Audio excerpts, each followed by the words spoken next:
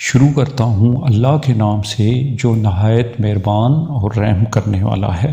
Channel Urdu in line में मैं आपको खुश आमदीद कहता हूँ। हज़रत अब्दुल्ला बिन उमरो रज़ी अल्लाह बयान करते हैं कि रसूल सल्लल्लाहु वसल्लम के ज़माने में सूरज को गिरन लग गया तो रसूल सल्लल्लाहु अलैहि वसल्लम नमाज़ के लिए उठे।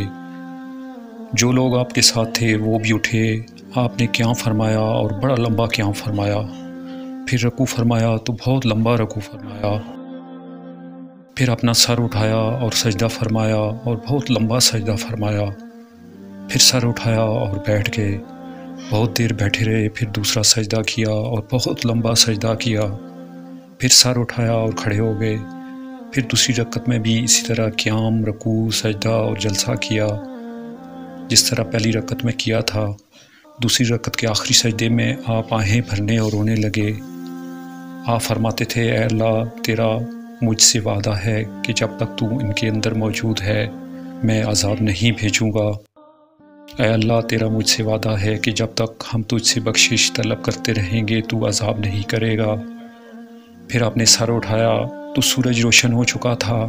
फिर अल्लाह के रसूल सल्लल्लाहु अलैहि वसल्लम उठे और लोगों से ख़ताब फरमाया पहले अल्लाह ताला की हमदो सना बयान फरमाई, फिर फरमाया, बिलाशुबा सूरज और चाँद अल्लाह जो जल की निशानियों में से दो निशानियाँ हैं। जब तुम इनमें से किसी का गिरहन देखो तो जल्दी से अल्लाह ताला के ज़िक्र की तरफ़ चलो।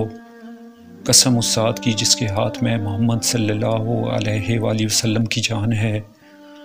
जन्नत मेरे इतने करीब की गई कि अगर मैं अपना हाथ बढ़ाता तो इसके फलों के कुछ कोशे तोड़ लेता। और आग मेरे इस कदर करीब की गई कि मैं उससे बचने लगा। मुझे ख़तरा महसूस होने लगा था कि कहीं वो तुम पर ना छा जाए।